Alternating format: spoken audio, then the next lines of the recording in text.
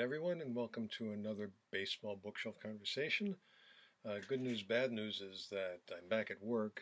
Uh, that's the good news. The bad news is it means I don't have as much time for these baseball conversations as I normally would. Uh, well, not normally, nothing's normal right now. In any case, uh, this week's conversation is with Andy Kutler, author of The Batter's Box, a novel of baseball, war, and love.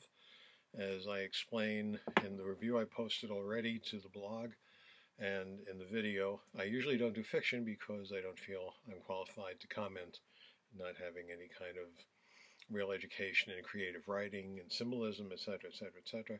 So, uh, but uh, I really enjoyed this one, and I think it was a great conversation. And here we go. Andy Kutler, welcome to the Baseball Bookshelf. Great to be with you today. So, uh, as as most of the people who follow the blog know, I don't usually do fiction because I don't feel qualified to discuss creative writing intelligently. It's much easier to do history or biography or things along those natures because they deal with fact, not fiction. But uh, your book combines two of my interests: World War II and baseball. So uh, when you uh, contacted me, I thought I would uh, give it a shot, and I'm very happy I did. It's a great book. Congratulations. Thank you very much. Uh, so tell us about the genesis of this project. Sure. Well, um, I uh, early in my professional career, uh, I worked on veterans issues in Washington D.C., and I worked for a senator from Nevada. And we had a veterans advisory group back in Las Vegas, uh, comprised of veterans from World War II up through, at that time, the Gulf War in that time. And uh, I became friendly with one of the World War II veterans, and he was a terrific guy. Um, but when I asked him about his war service, he could never really talk about it. And at that time, I was pretty young, and um, I just assumed that, like many in his generation, he was just very humble and modest about his service. Um, but then one day he handed me uh, a self uh, self published memoir that he wrote of his experience, and uh, it was an incredible uh, tale. He was a 19 year old um, Navy crewman on a torpedo plane off an aircraft carrier, um, and he was captured by the Japanese. He lost an eye as a prisoner of war. Um, really a harrowing experience, um, and that was the first time that I realized that it wasn't so much um, that he was modest about his service. He just could not bring himself to talk about it based on what he had been through. And of course, he came from a generation that was conditioned not to talk about uh, psychological issues. It was considered weakness back then, or um, and plus the, the stigmas attached to it. Um, and as I, um, over the years, as I uh, came across more veterans and, and heard stories, I learned that this was a, a an endearing problem.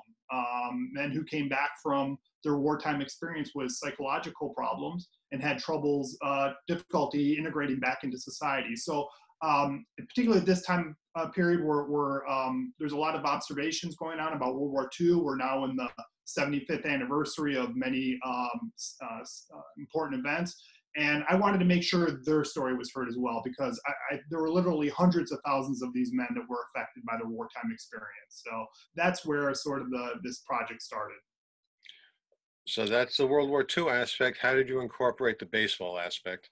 Sure. Well, um, you know, uh, I'm a baseball fan, uh, I, uh, and I, and I love baseball history. And one of the uh, historical periods that's always interested me for baseball was World War II.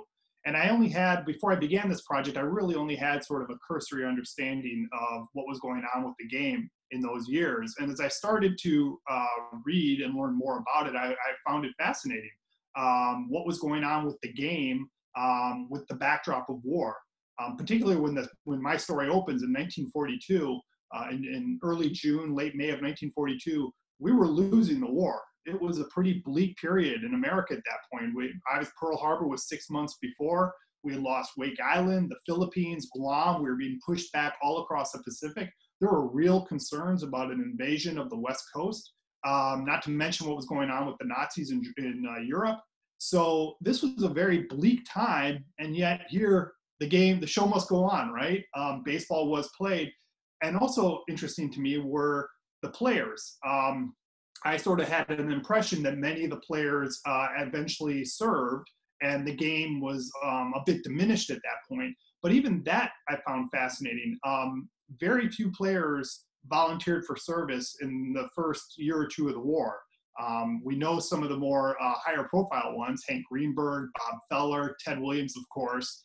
Uh, but most did not volunteer, and those that did were uh, kept out of uh, combat zones for obvious reasons. Uh, these were American icons, so the notion that um, any of them could be killed or captured was just unfathomable.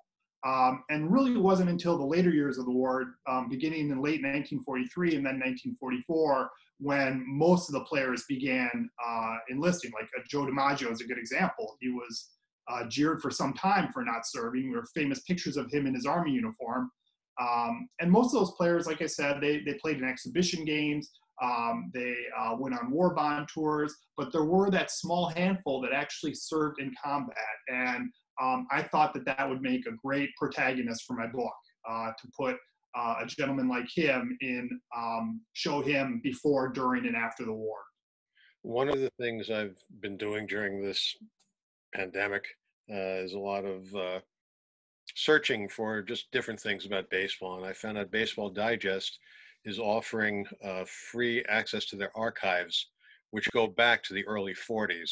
So I was just bopping around the early 40s and they had sections about baseball in the military and they were talking about you, you mentioned the players who didn't serve active duty but went on these promotional tours and baseball tours and they were saying how important that was to, for the morale of the soldiers that they visited that, to be able to see these major leaguers in action and to, to be that closer to them than they could ever be and have them go around and, and chatting with them was a big morale booster at the time. No question. And, and um, you recall there's a scene in the book early on where uh, a public affairs officer with the army is trying to convince uh, my, my main character not to serve.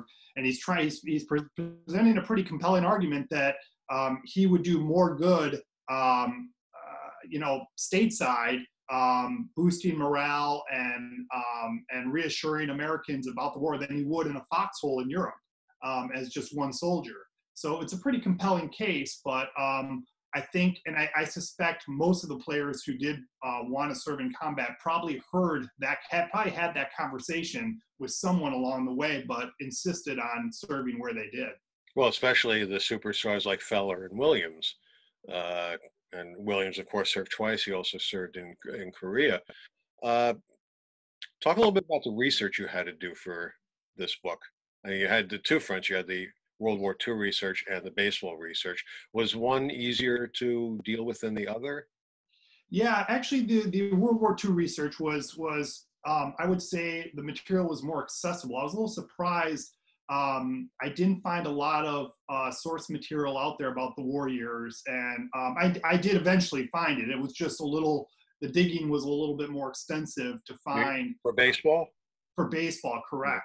Um, you know, I, in terms of uh, accounts of various players, of course, we know the famous ones, right? I mean, you can, you know, it's pretty easy to, to discover uh, Ted, Ted Williams' career path, but you really go into that second tier of players um, and that's where I discovered uh, a Washington senator that I had never heard of named Cecil Travis, who uh, was an all-star shortstop for the for the Senators in the late 1930s. Um, he volunteered. He he also volunteered right after Pearl Harbor, served at the Battle of the Bulge, um, tried to resume his career at the end of the war, but uh, but but it didn't work out. But he was much older. He was in his I think early 30s when he went off to war. And of course, he was away from the game for five years, but I had never heard of Cecil Travis until I started digging around for him. The World War II material was much more accessible, and um, but but probably the most important part of that research was my travels to Belgium, um, where uh, the middle part of the story takes place, um, and that's the Ardennes region of of southern Belgium, uh, where the Battle of Bulge occurred. Um, just walking that ground um, really enabled me to visualize um, the battlefield and really i really wanted to put my readers right there um, in that terrain and um, and and walking that ground. And i also had a number of conversations with villagers um, who were there at the time or who's I, I, should say their descendants were there at the time their families. I mean these are small villages maybe 60 or 70 residents per village. Um, so the families have been there for generations. And um, that was a fascinating part of the research. Um, so that was I really I really enjoyed my travels out there. Um, I also had a, a, number of people who were helpful to me along the way. But I should say the most important part of the World War II, the war research that I did was talking to veterans who have similarly suffered uh, psychological duress and, and um, problems after they came back from war. I had a number of people who were willing to open up with me, and um, that was incredible to listen to. And I tried to use a lot of the examples I heard in my story um, to really make the reader understand what Will was going through when he came back in 1946. So that it was it was pretty comprehensive research. So Will Jameson is uh, an up-and-coming all-star catcher for the Washington Senators, uh, who decides that he wanted to serve his country, as you say, against the wishes of of the administration and the military, uh, and go serve actively. The the scenes in which he is active, in which he is fighting, are are truly harrowing.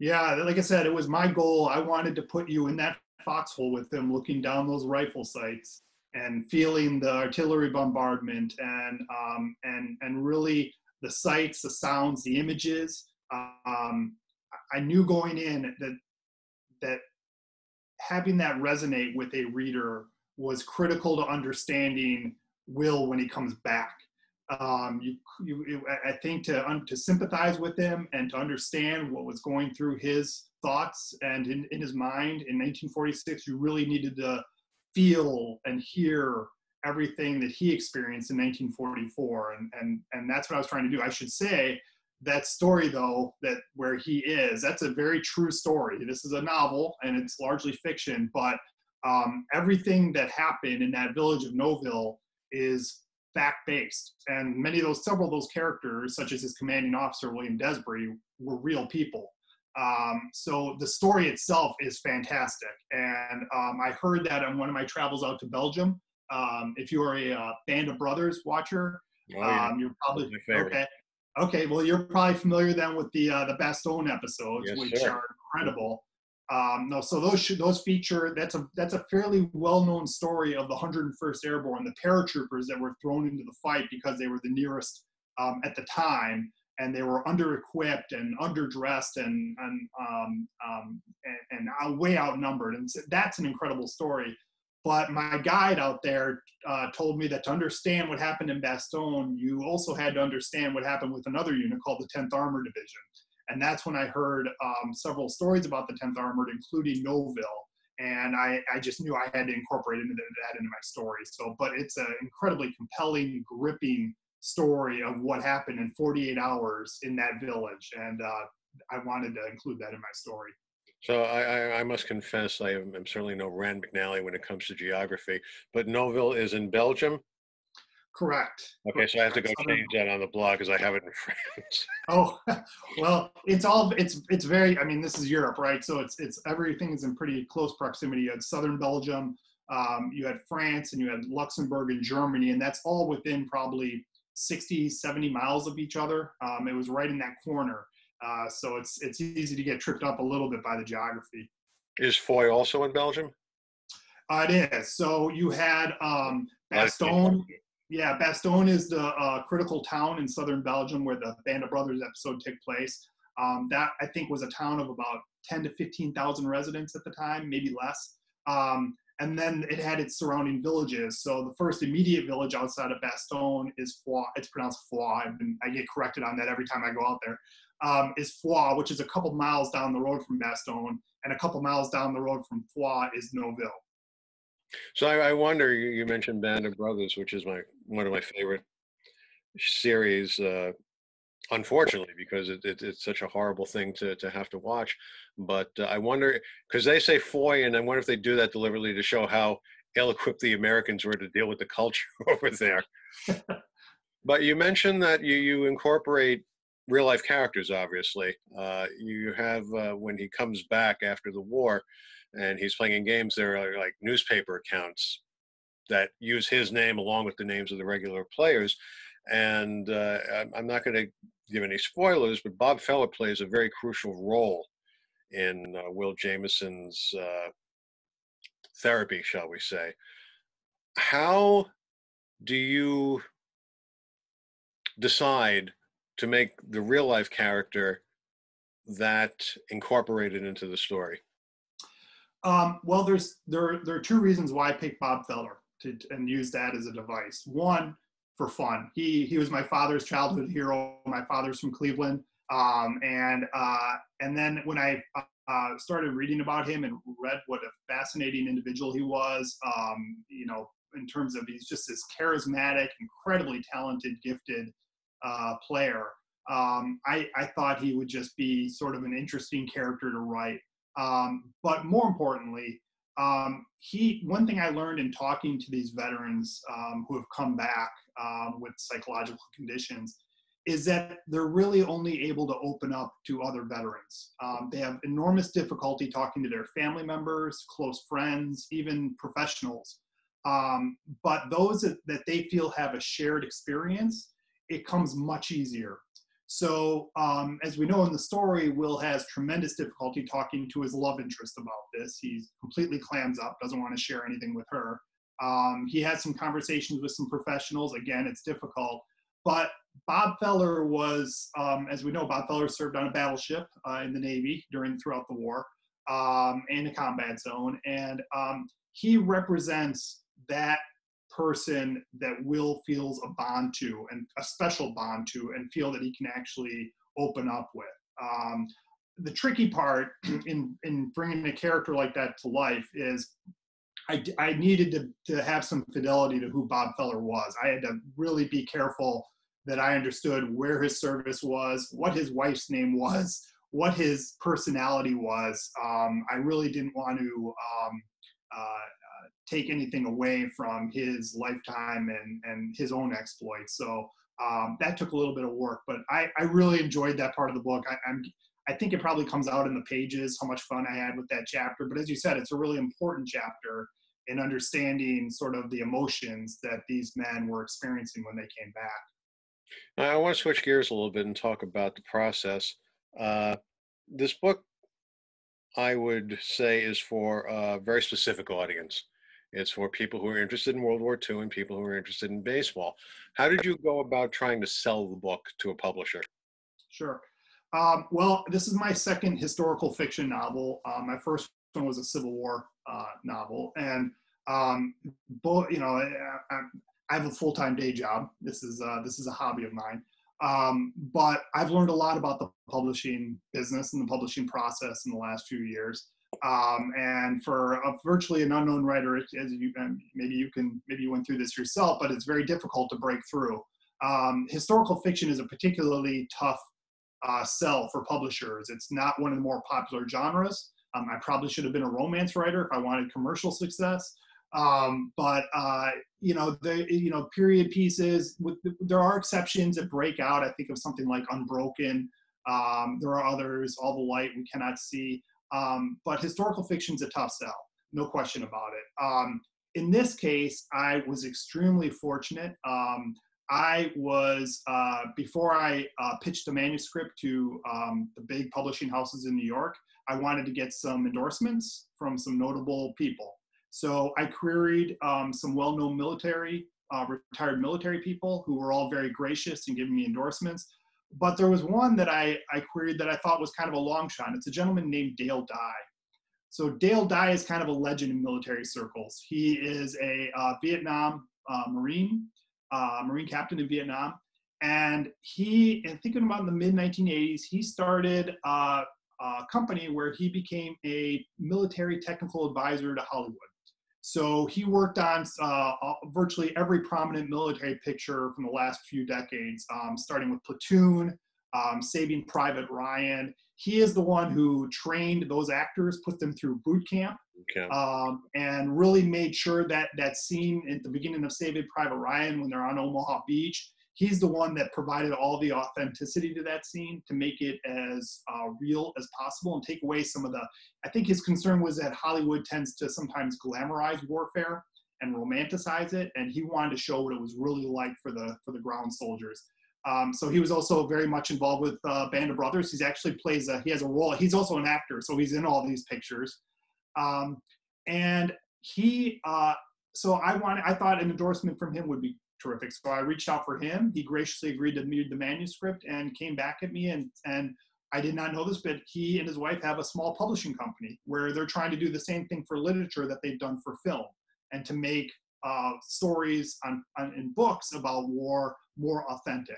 Um, so he offered to publish my book, um, and um, uh, I, should also mention that in terms of Band of Brothers, uh, one of the actors from Band of Brothers is currently producing my audio version of my book. So I'm very excited about that. Um, but that was uh, so. I, I, think you know, in many regards, I've been fortunate throughout this whole um, my whole writing um, uh, the last few years in getting published.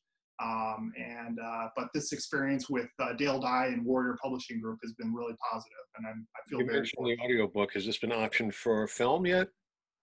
Uh, no, uh, I, I'm I'm I'd like to work on that. Um, so I'm first up was the audiobook. I want to get that done. There there's been a little bit of demand for that. It's uh, as you know, audiobooks are becoming increasingly popular. So mm. want to hopefully get that out this year, and then uh, we'll see what happens out west. The the the actor from Band of Brothers who will be narrating. Who who would that be? Uh, Matthew Leitch. Uh, he played uh, First Sergeant Talbert. Um, he oh sure. Not the, first sergeant near the he became first sergeant near the end of the mm-hmm. uh, near the end of the run. Um, but I met him. I was out in Belgium in December for the 75th anniversary uh, commemorations of the Battle of the Bulge, and uh, he and another uh, uh, the actor who played Doc Roe, the medic from the Bastogne episodes. Um, I was on uh, a tour with them, a guided tour with them, and book events, and um, developed a relationship there. And Matthew agreed to do my audio book. So Doc Roe was that Eugene? Uh, yeah, Eugene Roe, correct. Eugene, correct. The, the Cajun, uh, who was uh, featured in, was he featured in the Bastogne episode or the one after that? Um, the ba- uh, the Bastogne episode was told through his eyes, the medic. But again, it's it's he's not the one who's doing my narration. It's Matthew. Oh, yeah. Uh, interestingly, like many of the actors on Band of Brothers, they're English. Um, I'm not sure many yes. people are aware of that. Lewis certainly, uh, fantastic. It was the a majority of them. Fantastic performance. Well, we've been talking with Andy Kutler again. The book is The Batter's Box, a novel about baseball, war, and love. Highly recommended. And uh, like I said, you know, usually I don't do fiction, so take that that for what you will. Uh, I really enjoyed it, Andy. Thank you so much for doing this. Stay safe during this time. And uh, do you have another project coming up? I'm working on my third book. I'm, I'm stepping away from historical fiction, um, kind of going back to my roots. This is going to be a political drama. Uh, I started my career on Capitol Hill, so I'm going to try something a little different here. Yeah, certainly a, little, a lot of drama up there right now. Thank you, Andy. Take care. Thanks, Ron. Appreciate it. And that was our conversation with Andy Kutler. Tune in again next time. Next up in the lineup is Andy Gaff, author of Lou Gehrig, The Lost Memoir, a brand new book about the Iron Horse. Following that will be a conversation with an old friend of ours, Curt Smith, author of The Presidents and The Pastime, The History of Baseball and the White House.